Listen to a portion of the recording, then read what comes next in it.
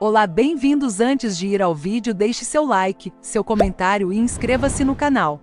Nas redes sociais, Juliana Silveira encantou seus fãs e seguidores ao compartilhar fotos deslumbrantes com sua família. A atriz, que ficou conhecida por interpretar a Floribela na Band, concedeu uma entrevista à revista Caras na qual falou sobre o envelhecimento e mostrou estar contente com seu corpo e aparência. Ela destacou que considera a sorte de envelhecer e busca viver a vida com qualidade.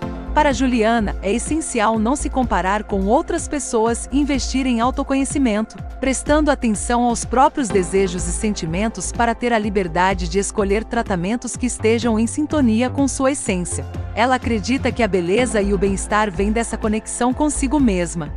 Recentemente, Juliana Silveira abriu o coração em suas redes sociais e revelou que já sofreu abuso sexual.